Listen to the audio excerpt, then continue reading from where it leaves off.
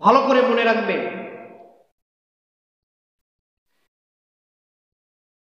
যে তিনটি কারণে মানুষ অপমানিত হয়,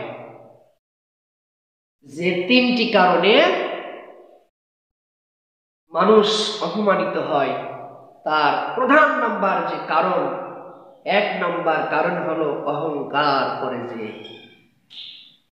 যার ভিতর অহংকার থাকবে, তাকাপ্পরি থাকবে সে সকলের সামনে কোনো না কোনো দিন হলেও অপমানিত হবে। অহংকার এমন একটি জিনিস যে সব কিছুকে ধ্বংস করে দেয়।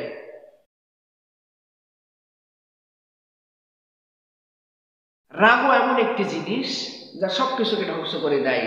ঝড় এসে যেমন সব কিছু তছনছ করে দেয়, পরে বোঝা যায় যে ঝড় কি ক্ষতি ক্ষতি না করে গেছে তেমনি ভাবে অহংকার করে কোনো কাজ করলে সে যখন অহংকারটা দূর হয়ে যায়, চলে যায়, তখন কিন্তু বুঝে আসে আমার ভাই, অহংকার করে কি কাজটা, কি কাজটাই আমি ভুল করেছি?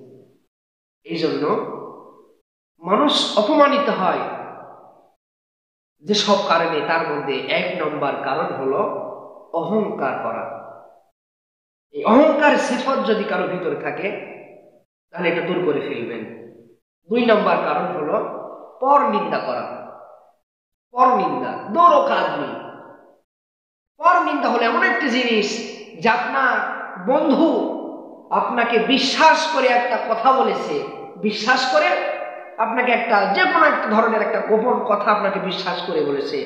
এই কথা আপনি আপনার আর এক বন্ধুর কাছে শেয়ার করলেন। ওই বন্ধু আবার আর একজনের কাছে শেয়ার করল। আর এই কথাটা যদি কোনো নারীর কাছে যায়, কোনো মা বোনের কাছে যায়, তাহলে তো কোনো কথাই নেই।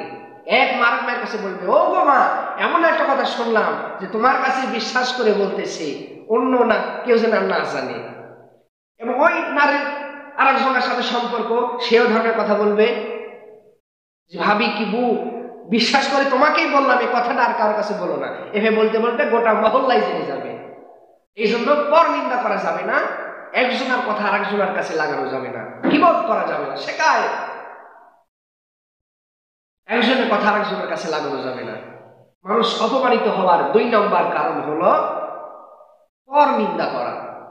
মানুষ অপমানিত হওয়ার তিন নম্বর কারণ হলো হিংসা করা। হিংসা করা। এই হিংসাকারীকে আল্লাহ তালা কখনোই ক্ষমা করেন না, এই হিংসুক ব্যক্তি জান্নাতে যেতে পারবে না। হিংসকের সিফত যদি কারও ভিতরে থাকে, তাহলে দূর করে দিবেন।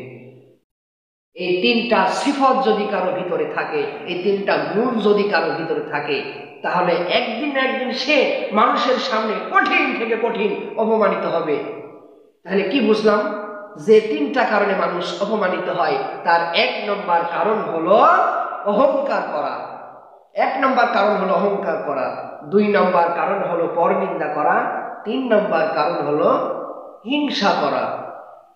এই তিনটা গুণ যদি কারও ভিতরে থাকে তাহলে দূর করে দিবেন। আল্লাহ পাক আমাদের সকলকে এই সহি বুঝদান করুক, সকল বলে আমিন।